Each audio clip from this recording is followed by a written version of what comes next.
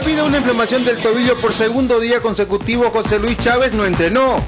Y aunque el técnico lo esperará hasta último momento porque tiene la esperanza de que se recupere, la presencia del volante para el domingo está en duda.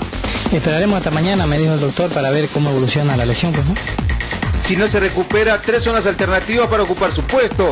El juvenil Luis Enrique Hurtado, Víctor Hugo Melgar y Amilcar Sánchez. Otra alternativa es incluir a Darwin Ríos en el inicio por uno de los dos delanteros extranjeros, para esa manera quedarse con Valdés y Argüello en el mediocampo. Lo único confirmado por ahora es que otra vez tendrá a su cargo la creación del fútbol Miguel Oaiza. Son importantes los puntos que, que estamos jugando y, ojalá pues yo quiera que, que lo podamos conseguir.